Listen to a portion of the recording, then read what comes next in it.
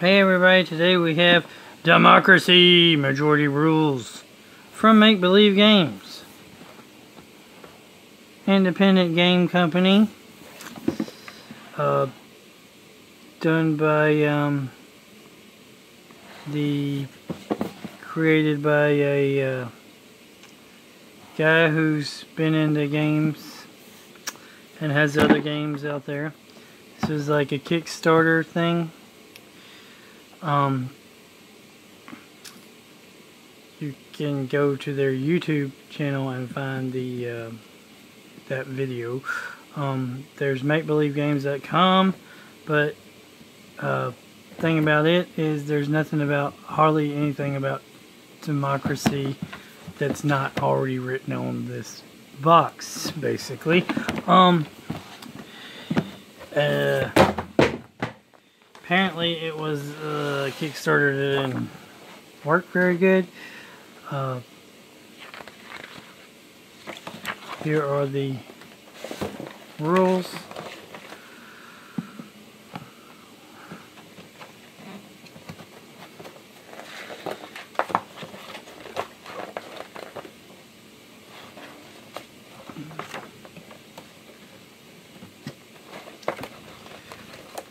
Read some stuff on the doohickey on the online at BoardGameGeek.com and stuff. This never came out. Um, these scenarios I don't believe ever came out. None of this that they said they were going to do did they ever do. Um, it must have not got the funding they wanted. You can play as Liberty, Change, Regulate, or Tradition or of course modern. Uh, the various different groups are you got money, which they have front and back, media, lawmakers, justice, bureaucracy, activists, and voters. The basic game you play with the white. Advanced game you can mix it up. Uh, each faction or ideology or whatever player has this little tent thing that's kind of like a uh, player aid card. That was something extra added. Um, you have all these tokens which are political uh, you're basically they're kind of like the currency of the game sorta. You have a lot of um, tokens. These are how much political power you have. Then in this bag right here it comes with all these other little bags to put all your stuff in from this big bag. You have a cool gavel. Order in a court! Order in a court! You have um, these wooden little chips. There's yellow, green, red, white, and blue for the different factions. Represent. And then you have um, these uh, tokens here, which represent something else. I forget. Um, anyway, you have these cards here, which represent the different groups. And maybe, hell, you might be able to control one of the groups. And if you control one of the groups because you have the most people on it, you get special powers. You have the activists group. You have the bureaucracy group. Same on all, same thing on the back of each card. Um, you have the justice group. You have the lawmakers group. You have the Maverick You have the media. You have the money. You have the president. And you have the voters. The Maverick is, you know, the player in the behind. And then you have the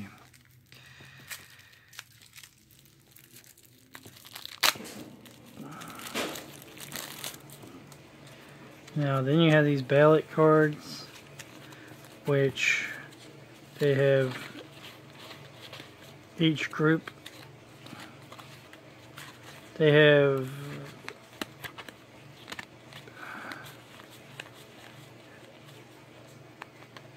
they have they're supposed to be yes and no ballots I don't understand why they didn't put yes, and I don't understand why they didn't put no on there, but apparently it looks like the money's always voting yes, and the somebody's always voting no. I don't, uh, and the bureaucracy's always voting no. I don't understand that. You would think that there would be equal Yes, and no ballot cards for every faction group, whatever. That seems like they made a mistake there, which maybe they did. Then we have these uh, law cards, where these are the laws you get to vote on. Liberty or balanced budget. And they're always green or yeses Red's noes, I guess. Um, bank reform.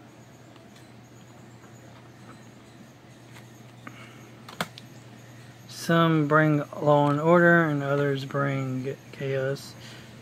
Uh, censorship.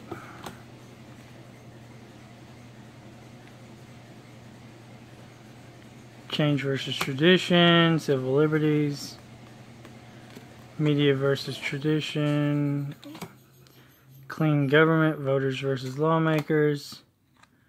Constitution reform, lawmakers versus tradition. Declaration of war. President versus lawmakers, civil unrest. See some bring civil unrest. Military industrial conference, defense spending. Tradition versus voters. Deregulation. Money versus activists Education reform. Change versus bureaucracy. Electoral refund. Change versus voters. Family values. Tradition versus change. Green energy, coal, activists versus money. Healthcare reform. Regulate versus liberty. Impeachment crisis. Lawmakers versus president.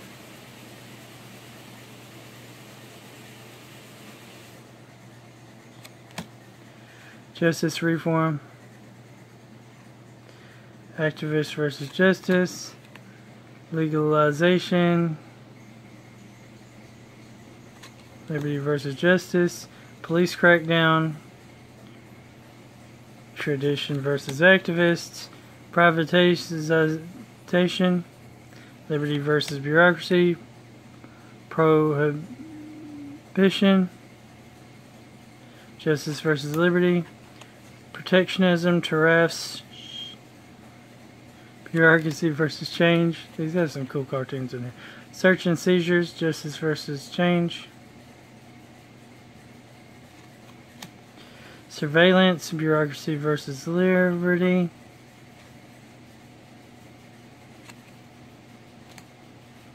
Tax cuts, voters versus regulations. Trade war, regulation versus president. Union busting, Money versus regulation. They seem like, um, all the verses are always these polar opposites fighting each other. It's never these two fighting, or these two fighting, or these two fighting, or these two fighting. It's never side by side fights. Be for some reason. It's always green versus red. Uh,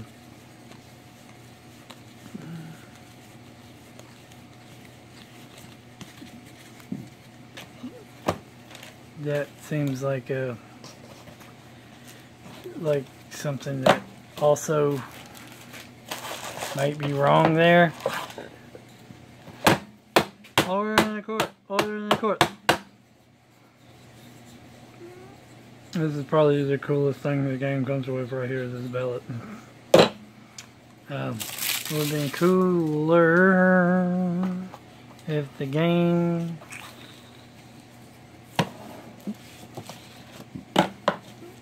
had more. I guess it has the basics.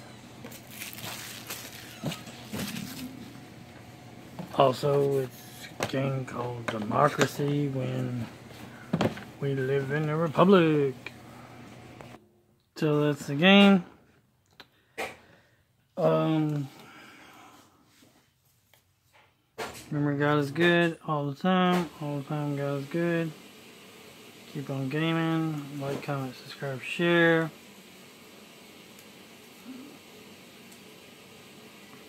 This guy's working on some kind of toxic zombie game that they spend more of their time on. Uh, apparently this game didn't get the funding or something of that nature that it needed to be able to be better, which is the fall, which is the Kickstarter problem that you have with Kickstarter? Because uh, Kickstarter I didn't find it from, I didn't buy it from Kickstarter. I found it at a antique mall so someone else bought it from Kickstarter. And I guess had it in their booth. Uh, because they didn't want it after they didn't bought it. anyway, have a great day. Remember, God is good all the time, all the time. God is good. Keep on gaming. Like, comment, subscribe, share.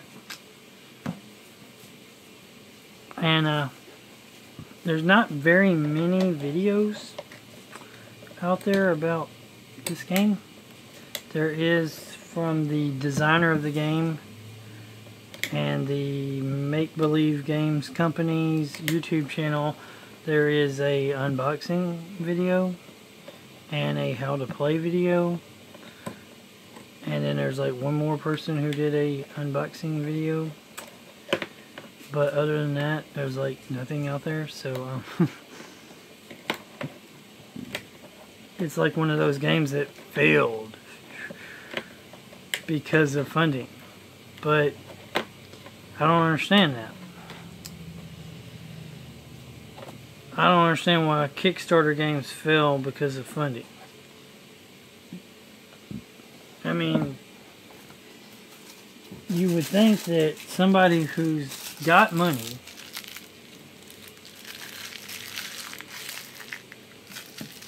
would be able to make sure their game succeeded and wouldn't need to make their game wouldn't need to kickstart their games. I can understand somebody who's poor kickstarting their games. But these are rich people who have been in the gaming industry for years who got paid who decided to get out of one thing and then they're trying to make their own, shouldn't they have money already from, you know, previous having a job, being in the gaming industry, got some kind of um, royalties off of the games they've already created in the past, where they could just take completely self-fund stuff? I mean, couldn't they self-fund it? It just seems like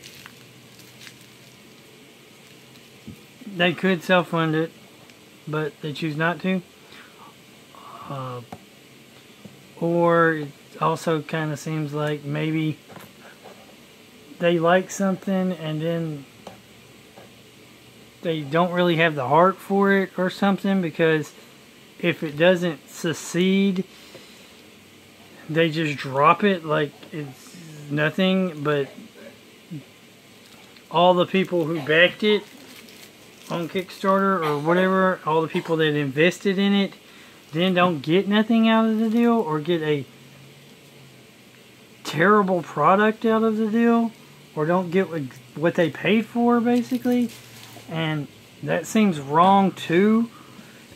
So it seems a little bit wrong on but then there's good stories and then there's bad stories with the Kickstarter. There's like stories where people funded something, it went successful, and now it's a mass market game or it's in the hobby stores.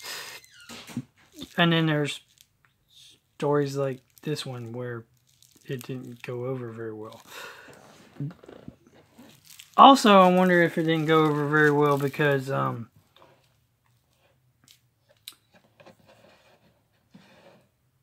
maybe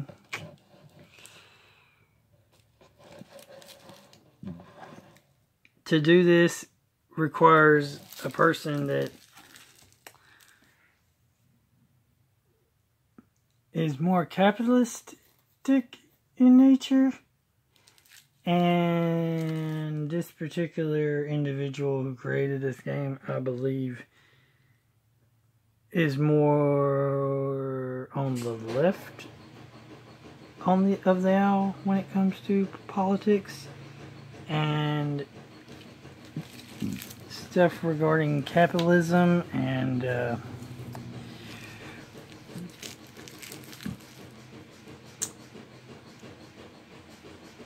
board games.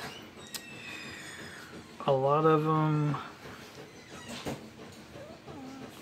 I mean, at least the marketing aspect and the capitalistic aspect of them, and possibly the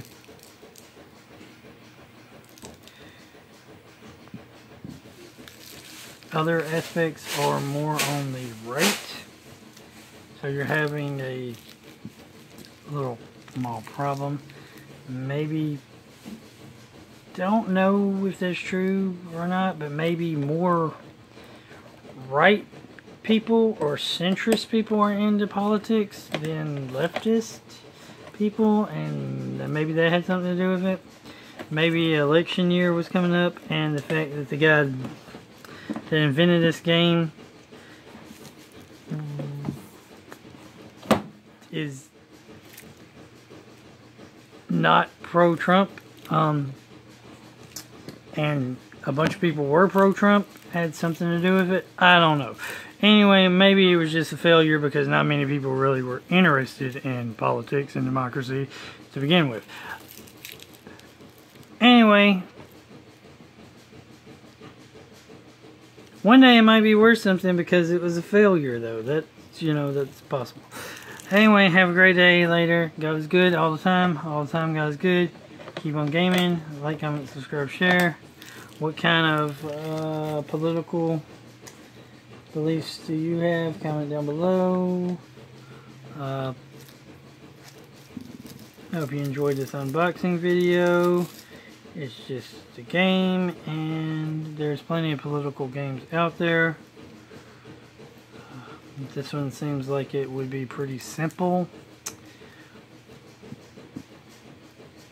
Area placement, movement control type game.